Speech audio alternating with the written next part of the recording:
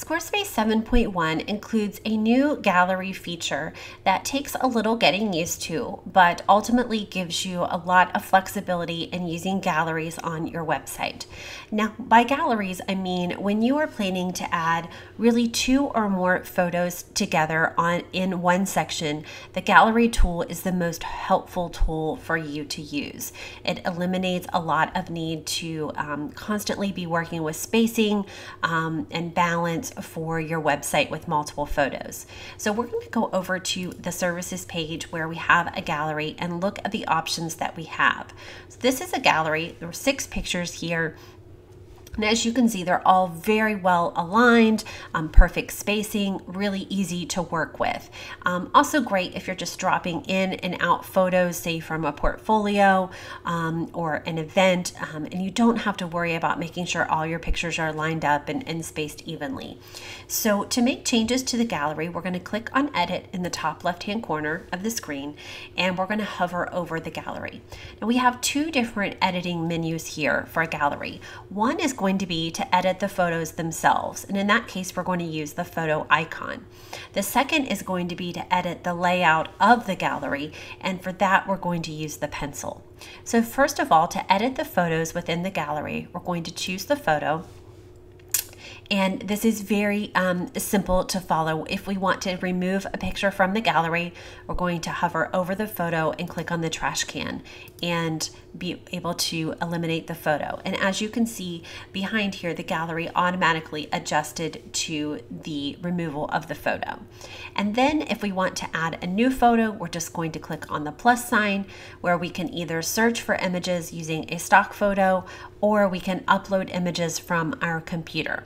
So that process is the same as if we were just adding a new single photo. We do want to make sure to add a description to our photo, again, for SEO purposes and also to serve our audience well. And then we can add a um, click-through image as well, uh, a click-through link on the image as well here in this space.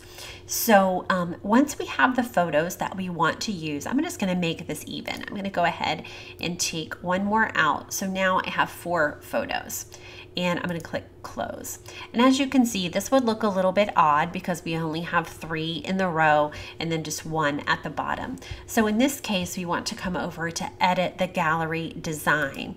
And when we click the pencil, we can see here that we have a lot of different options. So this is set up as a simple grid um, but it's also set up for three columns. So if we just drop this down to two columns, this will automatically adjust for us. And then we can adjust the spacing as well between the photos. Um, we can change this to um, a full bleed so that the photos extend to the edge of the site um, over to full or back at inset. So we have a lot of different options here um, just within even the grid type itself. But to go further, we can use the drop down menu and we can now change the display of the gallery um, in a different um, different formats. We may want this to be a slideshow instead.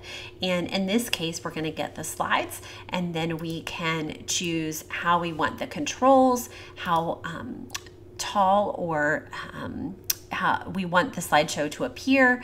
Do we want it, how wide do we want it to be? All of those kind of things. We can add thumbnails to a slideshow. So we have a lot of different options um, just using the same gallery. So play around with those and see which one you like. Um, and then again, we can turn off the default theme use and change the background of the section as well.